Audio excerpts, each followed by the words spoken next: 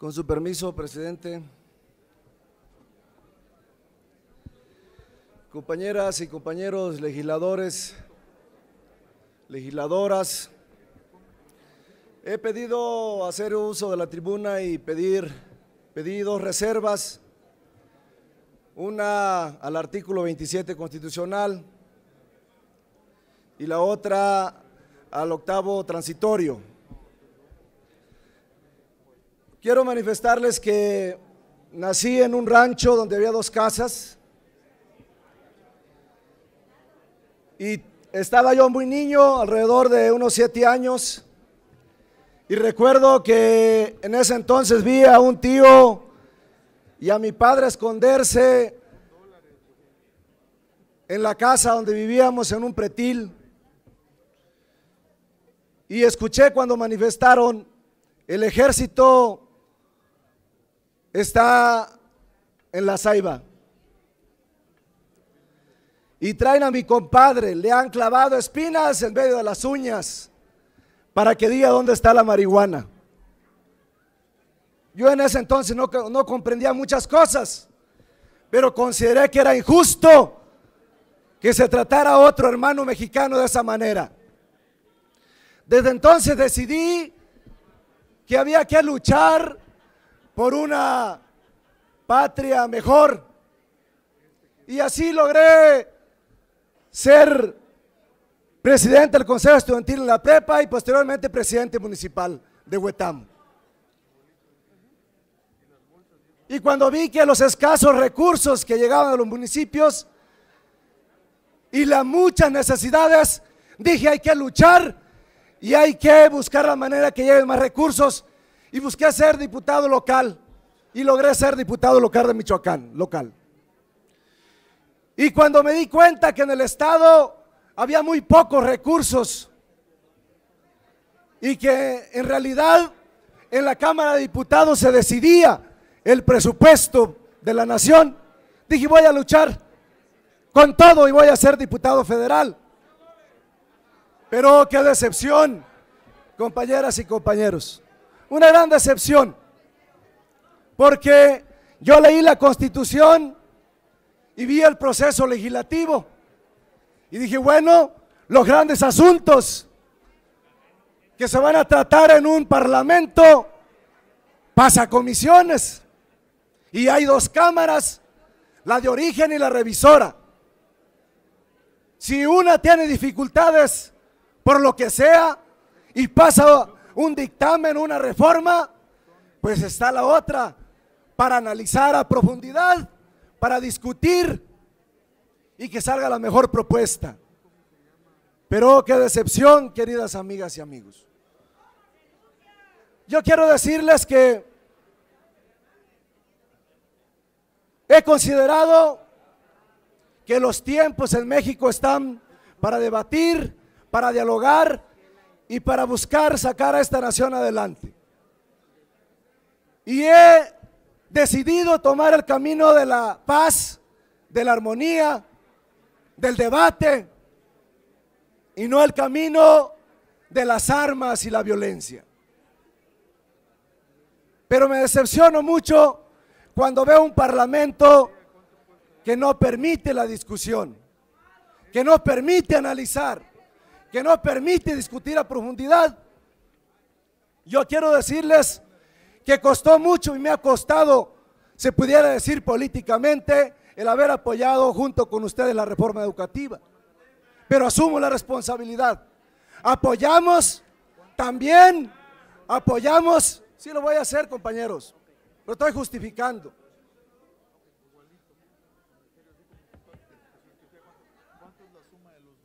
Apoyamos la ley de ingresos y de egresos. Porque consideré que en este país debería haber igualdad. Y que era importante que se le cobrara a las grandes empresas, que nunca habían pagado impuestos. Pero hoy me he decepcionado, queridas compañeras y compañeros, terriblemente. Porque hoy se está consumando un gran atraco a la nación. Me voy a permitir leer. Sí, la reserva. El artículo 27 constitucional habla de la entrega prácticamente a la iniciativa privada el petróleo y los recursos naturales a, la iniciativa privada y a los extranjeros. Yo estoy proponiendo, queridas amigas y amigos, que se incluya, que se agregue un párrafo a este artículo y que diga de la siguiente manera. Tratándose del petróleo y de hidrocarburos sólidos, líquidos o gaseosos en el subsuelo, la propiedad de la nación es inalienable e imprescriptible y no se otorgará concesiones con el propósito de obtener ingresos que contribuyan al desarrollo de largo plazo de la nación. Esta se llevará a cabo las actividades de exploración y extracción mediante asignaciones a empresas productivas del Estado o a través de contratos con estas o con particulares. Y yo digo, previa aprobación por el Congreso de la Unión y en caso de receso con la Comisión Permanente de conformidad con las leyes correspondientes. Los hidrocarburos en el subsuelo son propiedad de la nación y así deberá afirmarse en la asignación de contratos.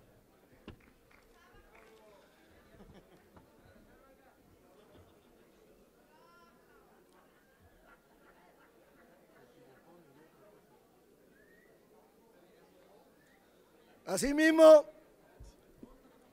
diputadas, diputados, solicitaré, citaré un artículo transitorio como ejemplo del contrato de venta del territorio, acto criminal que está por imponerse. En el artículo octavo transitorio, cito,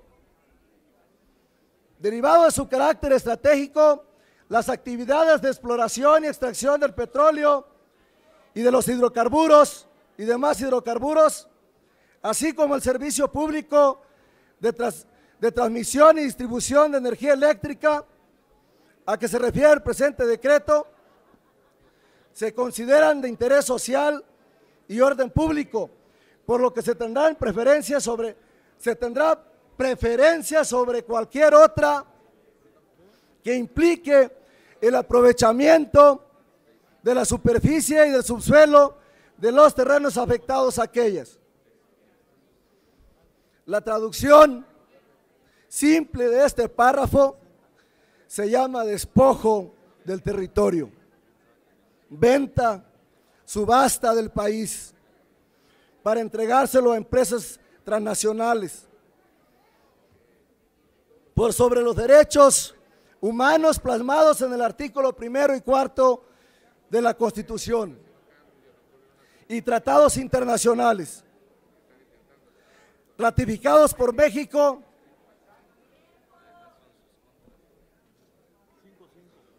como el Acto Internacional de Derechos Económicos, Sociales y Culturales en el 169 de la OIT, el protocolo de Kioto, etcétera.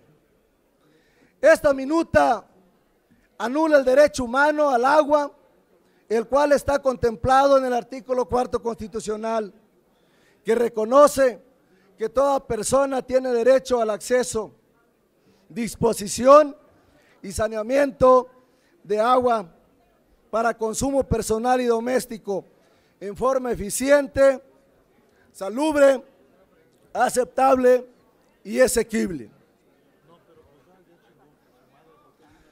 Solo con la fractura hidráulica para extraer chale gas o gas esquisto o lutita utilizarán por cada pozo 9 a 20 millones de, de litros de agua mezclados con más de 650 químicos altamente tóxicos. cancerígenos y que al mismo tiempo estarán contaminando los mantos freáticos profundos. Cada campo de pozos, Franklin, contendrá cientos de pozos. No solo es despojo del territorio, también es un genocidio. ¿Qué se han creído? No, no soy senador, compañeras y compañeros, soy diputado humildemente. ¿Qué se han creído ustedes, diputadas y diputados de Acción Nacional y del PRI? Para venir aquí a desobedecer el mandato que se les confirió. Eso se llama traición a la patria. Aquí en este recinto, en este palacio, ustedes protestaron guardar y hacer guardar la constitución política de los Estados Unidos mexicanos. Y la están violando fragantemente. Por esta razón, compañeras y compañeros, así, así, así como han despojado, a despojaron a la nación con privatizar teléfonos de México.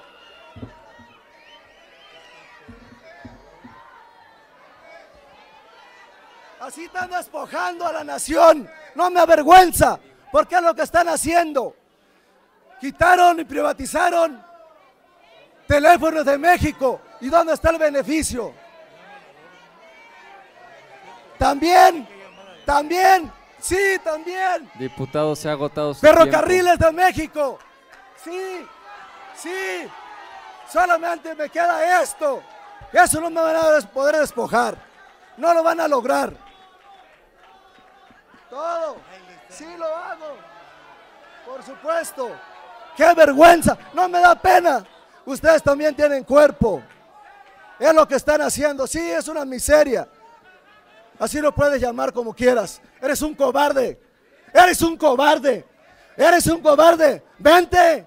Eres un cobarde porque no tolera lo que estoy se diciendo. Ha su tiempo, le ruego concluya su intervención. Despojaron, despojaron. Nos prometieron que se iba a privatizar ferrocarriles de México porque iba a haber desarrollo para la nación. ¿Y dónde está? Prometieron que con la privatización de teléfonos de México íbamos a tener mejores tarifas. ¿Y dónde está? ¿Y dónde está?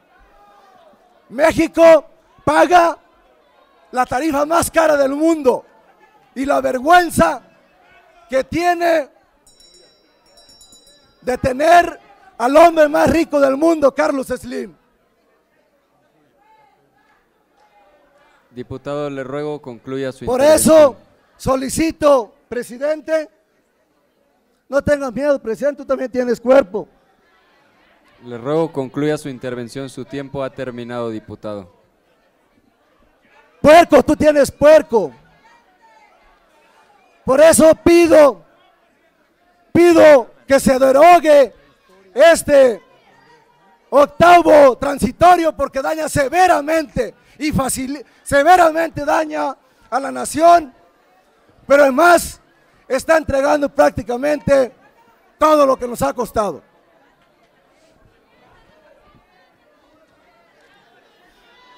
Qué vergüenza.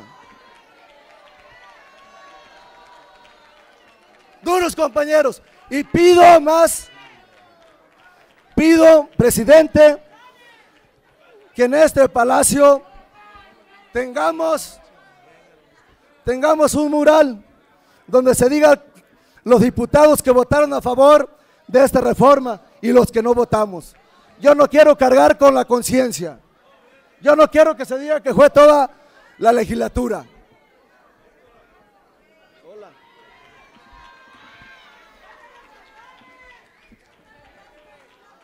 ¿También?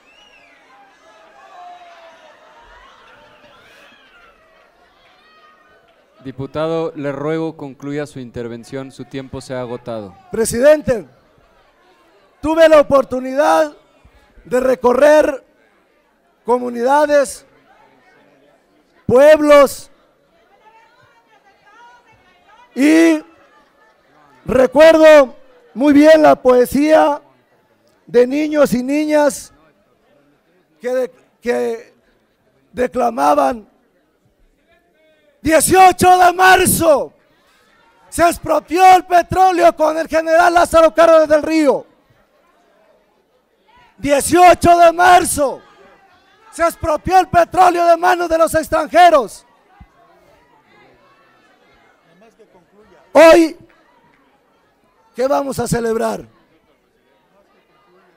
¿Qué vamos a celebrar el 18 de marzo?